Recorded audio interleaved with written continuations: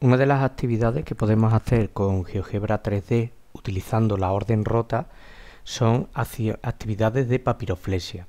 En este caso mostramos un trozo de papel en el cual pues aquí tenemos las dimensiones de el ancho y el alto del papel y con este papel, con las dobleces que tenemos marcadas, vamos a construir un avión de papel.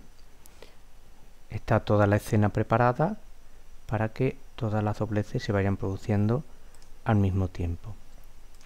Aquí podemos ver, una vez que lo tenemos construido, pues el avión de papel en sus tres dimensiones.